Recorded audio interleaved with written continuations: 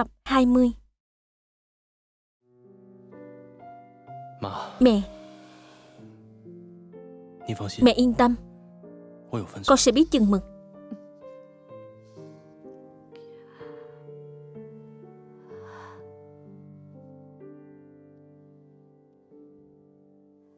Lúc nhỏ dịch qua thích ăn bánh bao chiên. Con thì không Nhưng con vẫn cứng đầu ăn. Dịch thần Con là đứa lúc nào Cũng giữ tâm tư trong lòng。Nhưng con lại hiểu mẹ。Nhiều năm qua Mẹ vẫn chưa chăm sóc cho anh con Giờ không dễ gì mới có được tin của nó。Chưa kịp vui mừng。Thì nó đã mất rồi Mẹ vô cùng Vô cùng ấy nấy. Mẹ Dịch qua sẽ không trách mẹ đâu.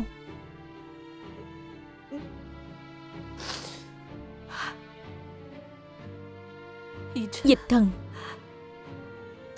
Trải qua nhiều chuyện như vậy Mẹ thấy vợ con càng ngày càng kiên cường. Mẹ thật sự vui mừng thay cho con nếu có một ngày con biến thành dịch qua Mẹ sẽ vẫn lo lắng vậy ha Biến thành dịch qua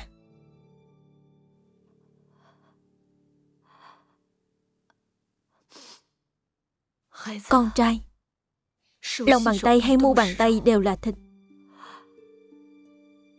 Mẹ vẫn sẽ yêu thương con như vậy. Con hiểu không?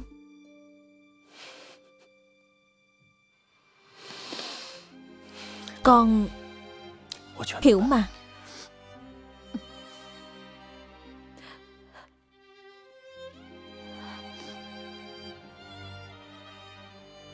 Mẹ thấy mẹ nợ tú chân Và cả nhà con bé quá nhiều.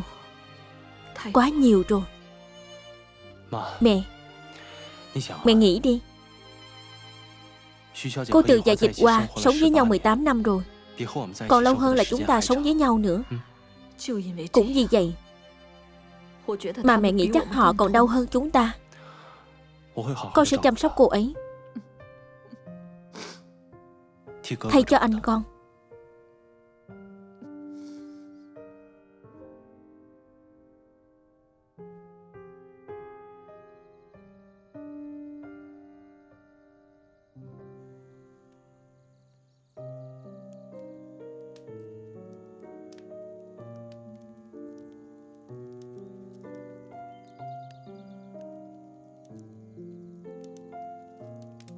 Con trai.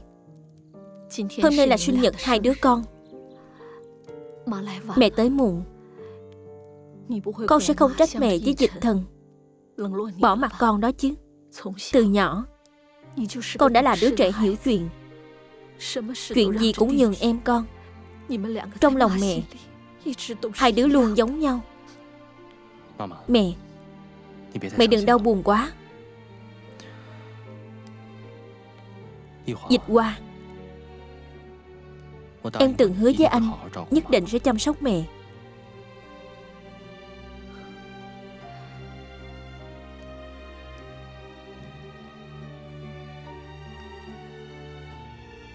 Dì Trân Đừng đau lòng nữa. Giai Mẫn Nào Chào anh con đi. Anh dịch qua Em nghe nhiều chuyện tốt của anh lắm. Nếu anh còn sống thì tốt biết bao. Nghe nói Anh giống hệt anh trai. Thật sự mong hai anh có thể sống cùng bọn em. Hôm nay là sinh nhật anh. Chúc anh sinh nhật vui vẻ.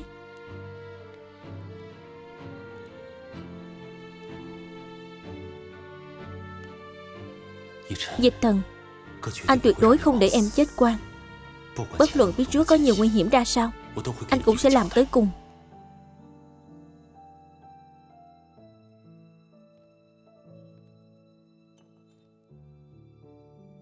Mấy cái này hình như có từ lúc đi du học. Chưa thay đổi gì. Tôi là người hoài niệm. Không thích mua đồ mới. Tìm được vật chứ? Còn tôi?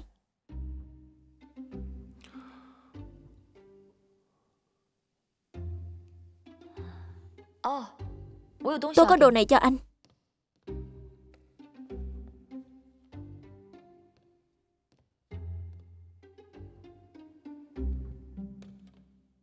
Mở ra xem đi.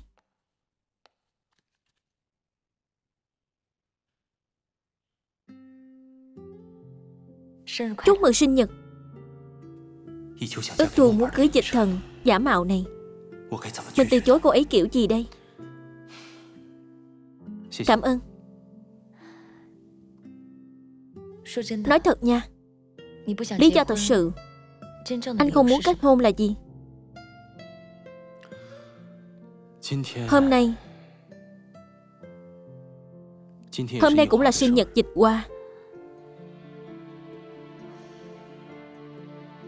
Dịch qua đi. Lòng tú dân vẫn không đổi. Tại sao lòng anh Lại không còn giống như trước đây nữa. Khi ông trời bắt thay đổi Thì làm gì được? Không phải cô cũng thay đổi rồi sao?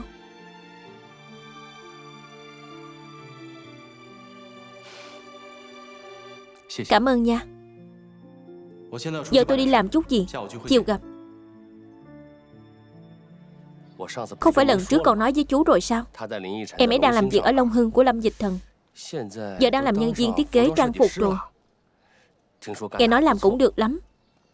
Lâm Dịch Thần cũng đối xử tốt với em ấy. Nên chú đừng lo lắng Cho Tú Dân nữa. Nó không sao là tốt rồi. Con bé này từ nhỏ đã giỏi Lại không kiêu ngạo Được lòng người khác. Cậu nói xem Đứa con gái tốt như vậy Giờ còn chưa gả đi nữa Giúp chú tìm một gia đình tốt đi. Chú Căng. Chú nhớ Tú Dân quá hả? Hay là con cứ gọi em ấy qua đây Cho hai người gặp nhau nha. Không không. Tôi không muốn con bé dính vào dùng nước bùn này.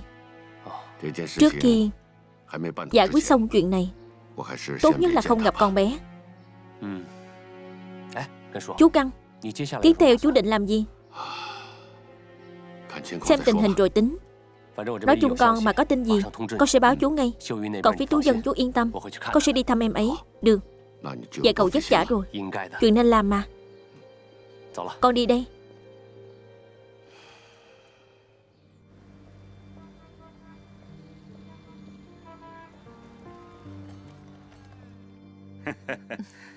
Lão Lý Tôi có nghe nói Con trai anh trên thương trường Là một người giỏi Đặc biệt rất biết uống rượu. Hổ phụ sinh hổ tử. Tủ lượng. Không hề thua anh đâu. Chú Tần quá khen rồi. Con chỉ uống được chút chút thôi. Sao bằng Dịch thần được? Tú dân. Dì Trân.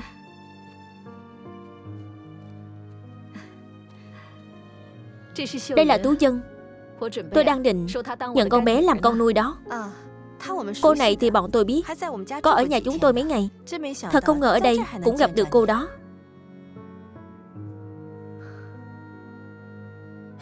Tú dân Chúng ta đi dạo bên đó chút được không?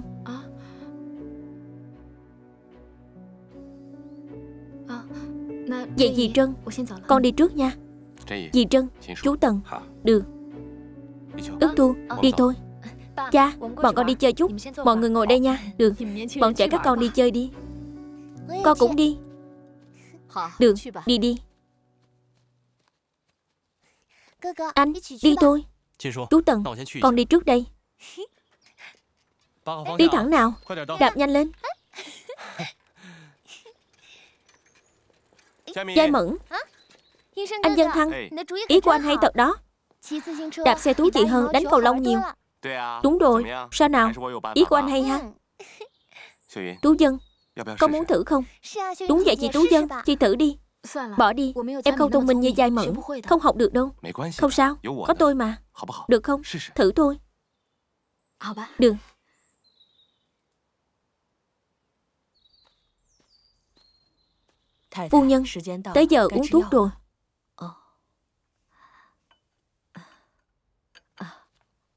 Tôi xin phép chút. Mọi người cứ nói chuyện nha. Anh đi với em. Tôi quay lại ngay. Được được. Đi thôi.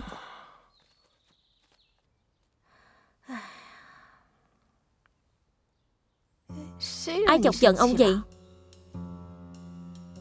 Mặt gì mà dài ngoằng ra? Đang ở bên ngoài đó. Muốn nói gì về nhà nói. Ông cũng biết đang ở nhà người ta hả? Vậy mà còn đối xử với tôi như vậy Người ta thấy ông như vậy với tôi. Con tưởng tôi đã làm gì có lỗi với ông đó. Bà làm hay không mà cũng không biết. Tôi làm gì? Tôi làm gì? ông nói rõ xem. Chuyện khách sạn Thân Giang là sao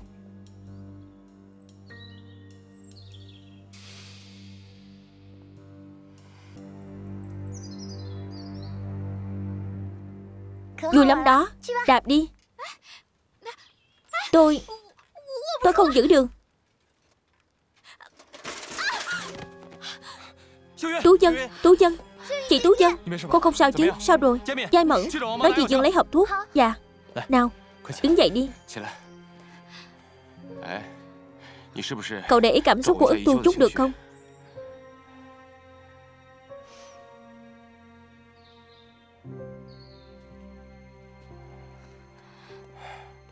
Sao rồi? Không sao. Không sao thật chứ. Hơi đau thôi không sao. Tôi cầm tiền rồi. Thì sao? Mấy năm qua tôi ở nhà ông. Ông đối xử với tôi kiểu gì ông tự hiểu. Con trai con gái ông vốn dĩ xem thường tôi. Được rồi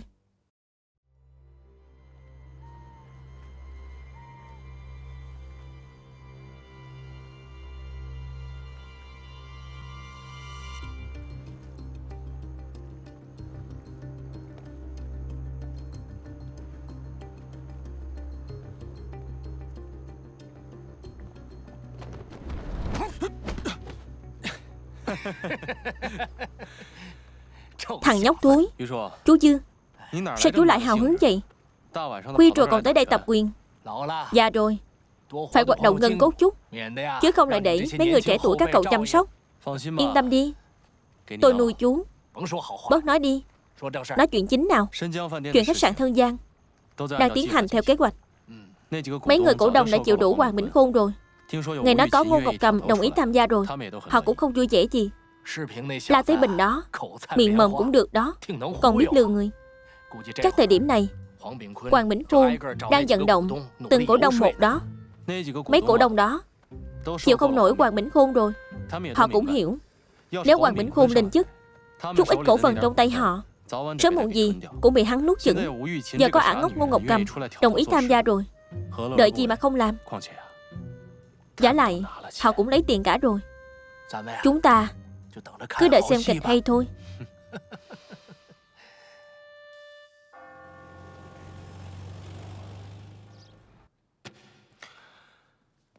Tôi xin nói trước.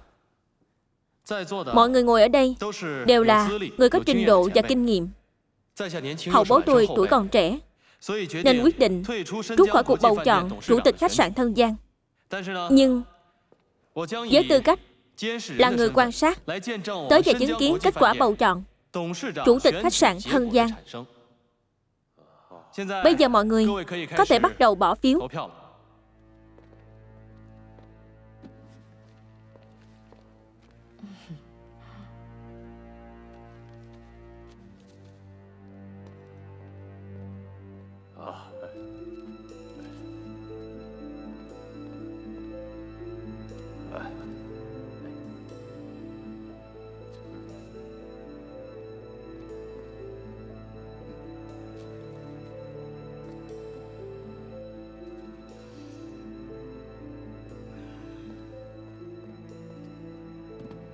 Mở đi.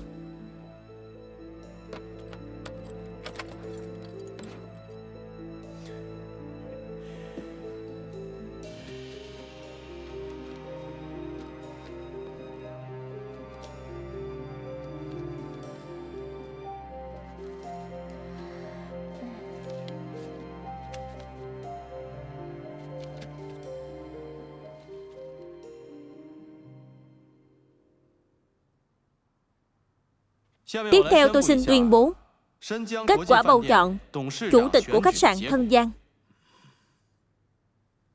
Quang Bỉnh Khuôn Ba phiếu. Ngô Ngọc Cầm. Sáu phiếu. Tất cả cổ đông đều có mặt Nên kết quả bỏ phiếu hợp lệ. Chủ tịch khách sạn Thân Giang Là Ngô Ngọc Cầm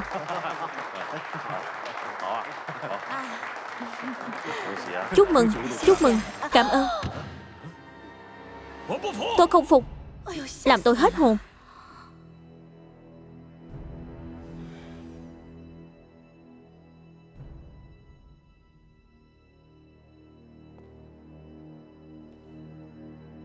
Các người thông đồng với nhau từ lâu rồi phải không Lần trước, Bán thuốc lá. Tôi chia cho cậu ít tiền, Nên anh luôn luôn muốn trả thù tôi chứ gì.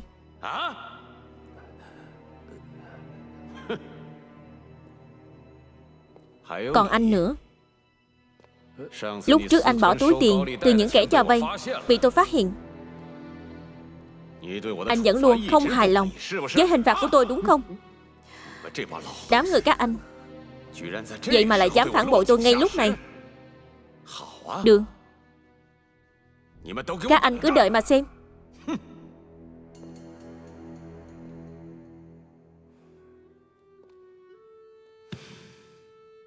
Ngô Ngọc Cầm. Nếu hai vợ chồng cô Kết hợp đối phó với tôi như vậy Vậy thì không đúng rồi. Chúng ta đợi mà xem. Quan Tổng. Quan Tổng. Đừng đi mà. Quan Tổng. Chức chủ tịch. Là do mọi người quan minh chính đại chọn ra mà. Lúc này anh cũng cam tâm tình nguyện bỏ phiếu mà. Với lại vợ chồng tôi Hình như cũng có dây dưa gì với anh đâu. Ngoài ra Tin tức đăng trên báo. Hình như cũng vừa dừng được mấy ngày. Tôi thấy Anh nên đi trốn mới đúng.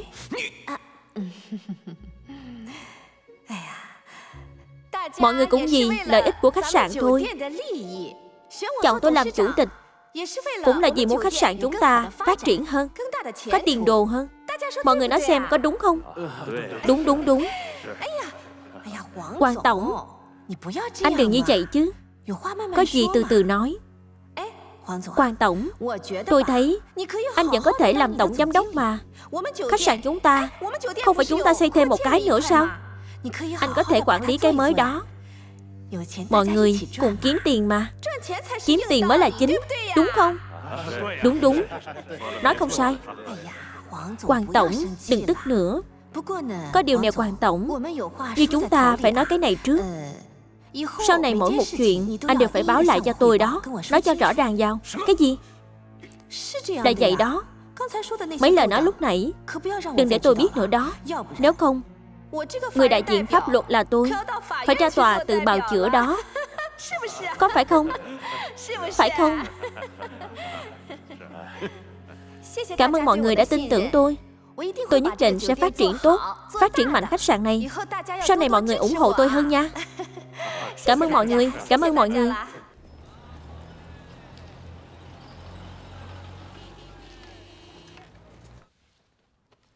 Tôi tưởng ông chủ quan hôm nay rất không vui chứ. Không ngờ lại còn tâm trạng mời tôi uống trà. Không phải chỉ là chức chủ tịch thôi sao? Có chuyện gì đáng buồn chứ Chẳng lẽ tiền của chúng ta lại ít hơn sao? Cổ phần của chúng ta vẫn như cũ mà. Chức tổng giám đốc này hay là anh làm đi? Cậu xem Ả Ngô Ngọc Cầm đó Có năng lực gì Mà quản lý quốc tế thân gian chứ? Vậy ông Hoàng Chắc không chỉ đơn thuần Mời tôi uống trà nhỉ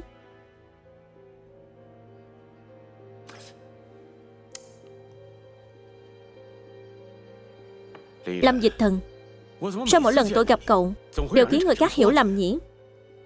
À Ý ông Hoàng là Người anh đã chết của tôi hả? Tôi nghe nói Lúc anh ấy còn sống Có điều tra ông. Nhưng nói gì thì nói. Ông chắc Quen thuộc anh ấy hơn tôi nhỉ?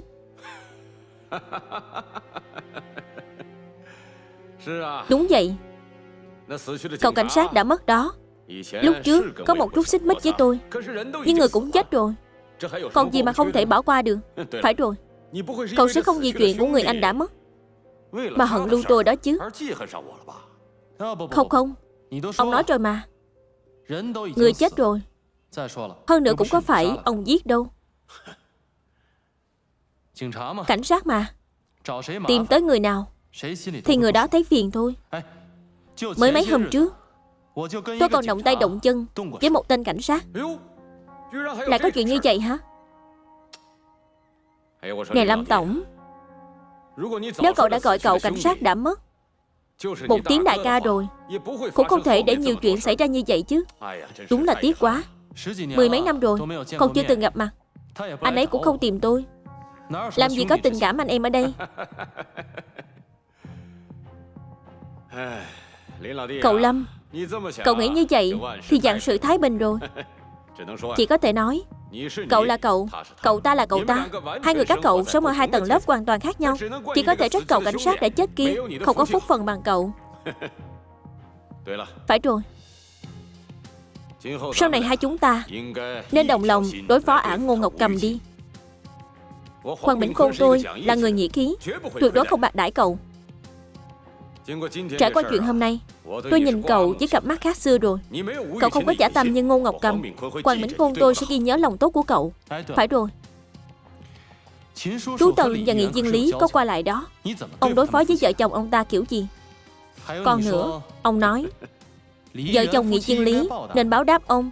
Là sao vậy?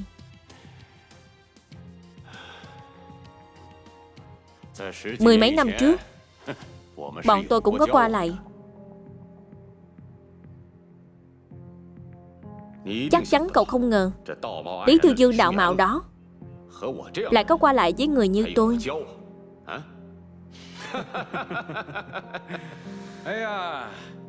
Nếu lão hồ ly đó đối xử với tôi như một con tốt Vậy thì đừng trách sao tôi không khách sáo.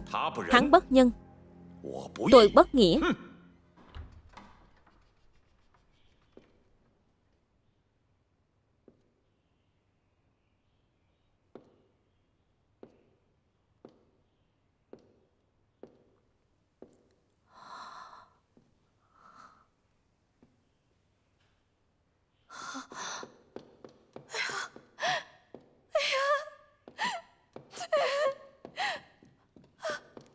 Chủ tịch.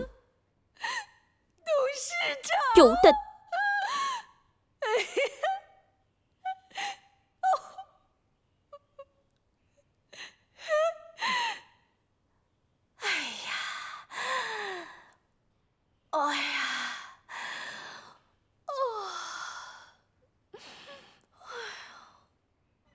Ông Hoàng Anh Minh như vậy Ai dám tính toán với ông? Cậu cứ chờ xem Chỉ cần họ dám dở trò với tôi Tôi nhất định sẽ trả lại. Họ Họ là ai? Người đứng sau ông chủ hoàng cũng đâu ít.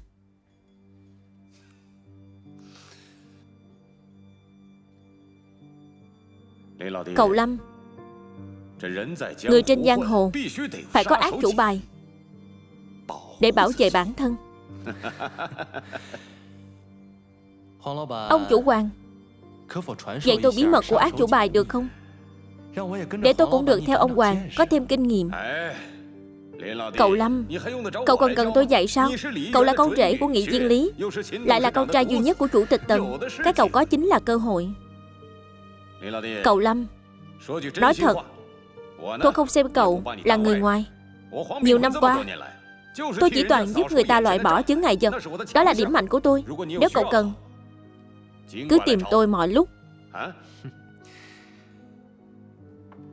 Tôi hiểu rồi. Hậu thuẫn của ông chủ hoàng.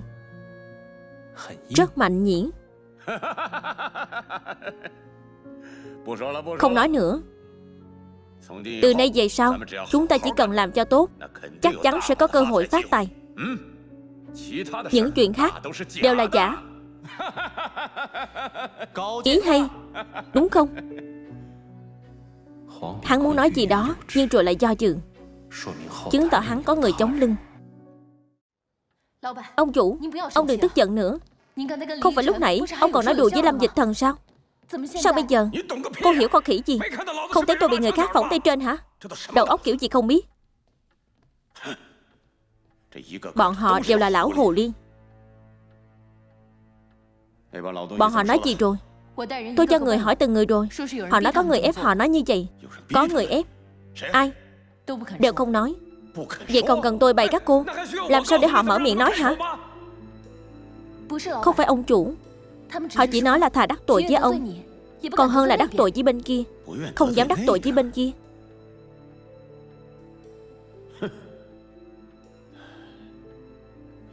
Tên nhà Lý Thư Dương khốn kiếp Hai vợ chồng hắn vậy Mà dám kết hợp chơi xỏ tôi. Được lắm. Để tôi xem. Ai mới là người thiệt? Cái gì? Ngô Ngọc Cầm được chọn. Không nghe nhầm chứ? Hoàn toàn chính xác. Sao có thể chứ? Một người phụ nữ không hiểu gì. Sao có thể được lòng từng đó cổ đông?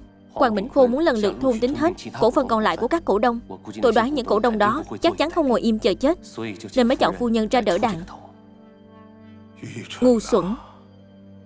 Lần này Hoàng Bỉnh Khôn chắc chắn nghĩ rằng ngài với phu nhân kết hợp làm. Hoàng Bỉnh Khôn là con chuột nhắt. Tuyệt đối không được để hắn làm ầm ĩ chuyện này. Dạ, Tử Khanh hiểu rồi. Còn nữa Nhớ chú ý người bên cạnh phu nhân. Tôi hiểu.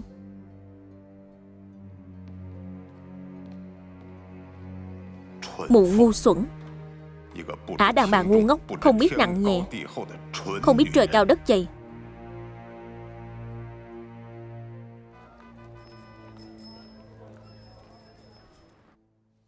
Đúng. Kiểm tra lại cẩn thận chút. Đúng Nhất định phải làm cho rõ Số tiền bên trong. À còn cái này. Tôi Vào đi.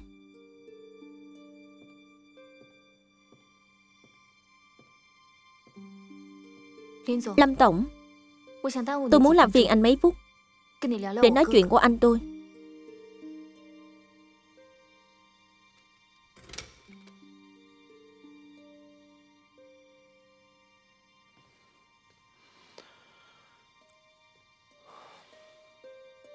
Nói đi.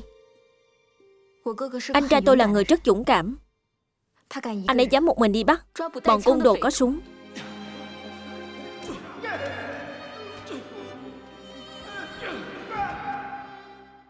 Anh ấy cũng rất thông minh. Bao nhiêu vụ án lớn nhỏ trong đồn Anh ấy đều lập công nhiều nhất. Anh ấy càng căm ghét kẻ thù. Luôn tìm lời giải thích cho những người chết quan không ngại bị người khác truy sát.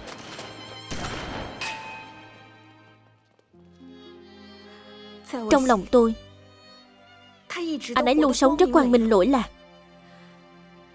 Cho nên tôi luôn sùng bái anh ấy. Yêu Và tôn trọng anh ấy.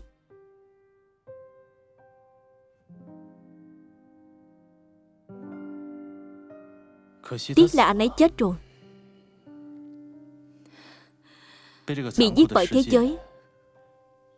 Tàn khốc này.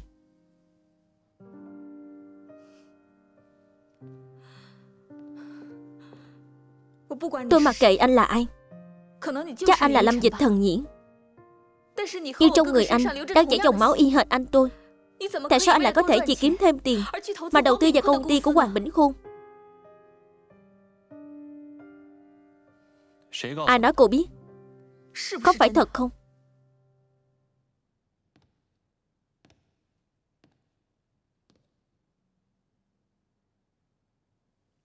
Đúng。Hắn là kẻ thù của anh Hắn hại chết anh ruột của anh đó。Cô Từ。Tôi có thể hiểu tâm trạng cô。Cũng rất đồng cảm。Nhưng có nhiều chuyện Không đơn giản như cô nghĩ đâu.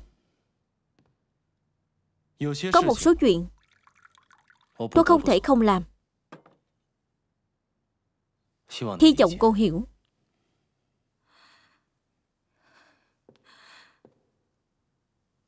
Ý của anh là Bất luận tôi nói gì hay làm gì Anh vẫn hợp tác với Hoàng Minh Khôn đúng không? Cô Từ Xin cô nhớ cho. Tôi là Lâm Dịch Thần.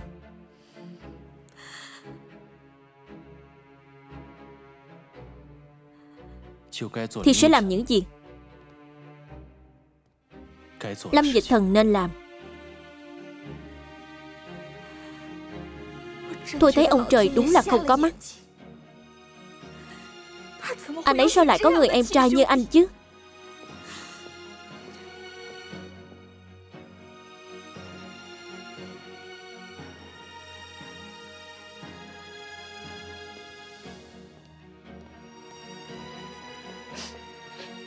Tú chân.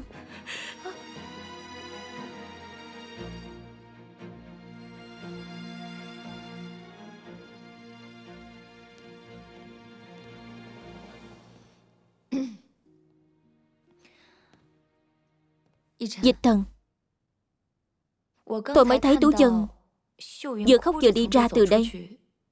Không có chuyện gì chứ Có phải cô ấy biết chuyện anh Làm cổ đông quốc tế thân gian không? Trên đời này Thực sự không bức tường nào là kính gió. Vậy anh giải thích với cô ấy chưa? Cô tới Để chỉ trích tôi hả? Tôi biết anh làm vậy Nhất định có lý do riêng. Cảm ơn Thực ra anh nên nói với cô ấy？Cô ấy không cần biết。Cô ấy không cần biết。Hay là cô ấy biết nhiều sẽ gặp nguy hiểm。Cô nghĩ nhiều rồi ước thu Có phải anh yêu cô ấy không？Cô ấy là em gái từ kế phát。Anh đang tự nhắc mình。Không được thích người con gái dịch qua thích。Hay là không muốn thành người thấy chỗ dịch qua Trong tim tú chân。Đủ rồi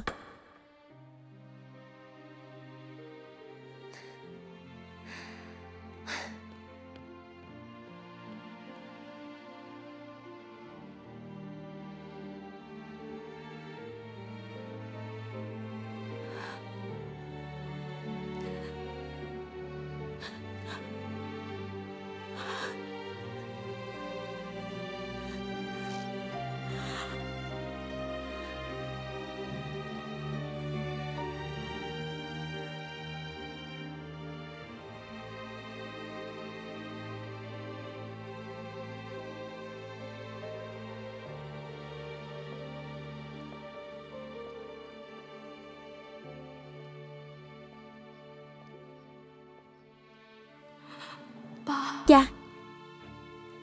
Cha đang ở đâu? Sao cha còn chưa về? Một mình con sắp không chịu nổi rồi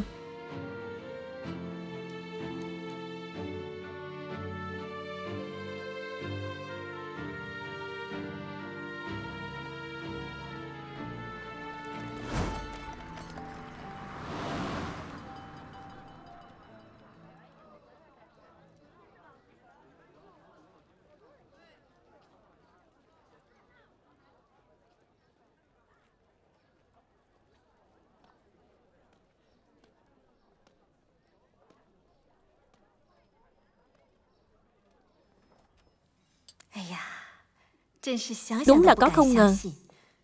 Quá thuận lợi rồi. Chuyện này Đều nhờ vào anh đó. Chủ tịch。Anh nghe thấy hay không? Chủ tịch。Cảm ơn anh nha. Phu nhân đều nhờ vào năng lực của mình mà. Giờ thì tốt rồi. Bước đi này đã đi rồi. Sau này sẽ càng tốt hơn. Nhưng Nhưng tiếp theo làm gì? Tôi không hiểu nếu tôi cứ như vậy Có tự biến mình thành kẻ ngốc không？Sao có thể chứ？Cô cứ yên tâm Không phải còn tôi đây sao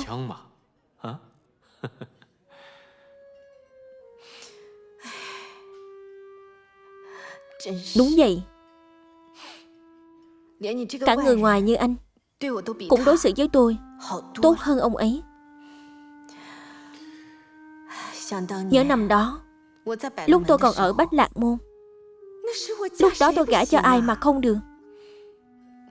Năm đó Vì muốn tôi giúp ông ấy Vì danh lợi và quyền lực của mình. Ông ấy nghe lời tôi trầm trắp. Nào có như bây giờ? Từ lâu tôi đã nghe nói nhị chiên lý. Có thể có được chức vị như bây giờ. Là nhờ lúc đầu phu nhân giúp đỡ khá nhiều. Ở Thượng Hải này Làm gì cũng phải có tiền dẫn đường. Còn phải nói Những người đó cũng tham lắm Nghị viên lý có thể đứng vững ở Thượng Hải này Cũng không hề dễ Có phải nhờ quan hệ với ông chủ tần không? Không phải. Ông Lý Tư Dương này may mắn lắm. Còn được. Ông ta may mắn nhận được khoản tiền lớn. Tôi cũng không biết ông ấy lấy số tiền đó từ đâu ra. Tôi đoán có ai đó tài trợ cho ông ấy. Nghị viên lý Xin hỏi chút Quân Nhật đã chiếm ba tỉnh Đông Bắc. Bắt đầu tấn công vào qua Bắc Có phải Thượng Hải chúng ta cũng sắp gặp nguy không? Nhật Bản Một đất nước phương Đông nhỏ bé. Xâm chiếm sông núi của Trung Hoa rộng lớn chúng ta.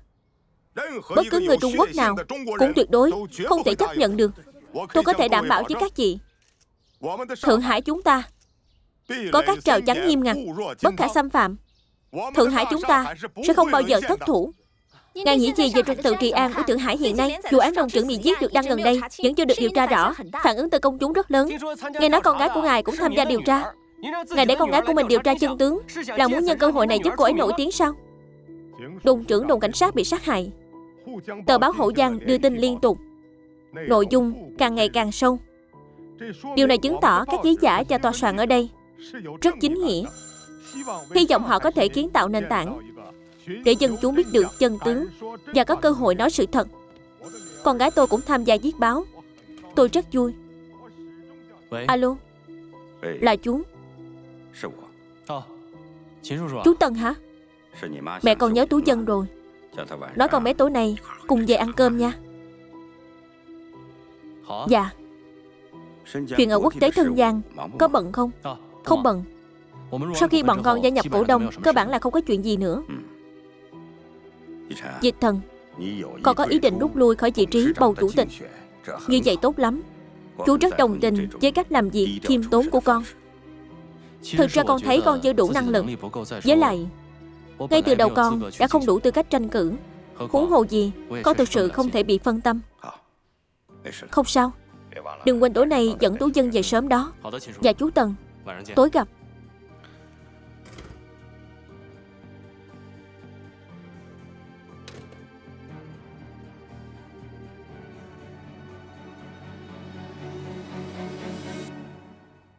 về nhà Tú Chân Tạm biệt Tạm biệt。Tú Chân Tan làm thôi。Tôi làm nốt việc hôm nay Rồi về ngay Cô về nhà chú ý an toàn đó Đừng về muộn quá đó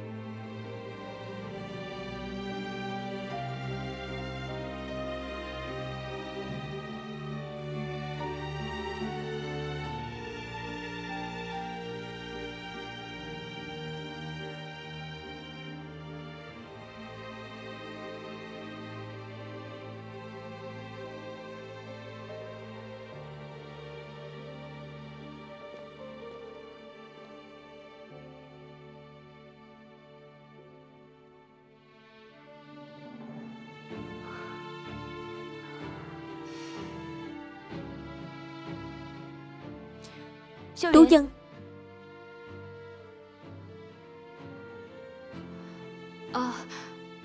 Tôi vừa tan làm Giờ về đây. Tú Dân. Hai người đang bàn công việc hả? Cô Từng Cùng tôi về nhà ăn cơm đi. Đừng có nhìn tôi như vậy. Tôi chỉ mời cô về Theo lời mẹ tôi với chú Tần thôi. Ước thu. Tìm cô Từ có chuyện hả Không có gì. Tôi định hẹn Tú Dân cùng đi ăn thôi. Nếu hai người có hẹn rồi Thì có gì về nói vậy? Tôi đi trước nha. Đợi chút chị ước thu Hay là như vậy đi. Hôm nay chị ăn cơm với chị Trân đi.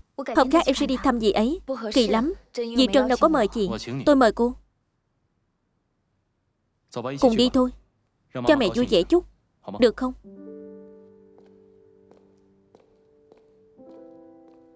Được rồi Cùng đi thôi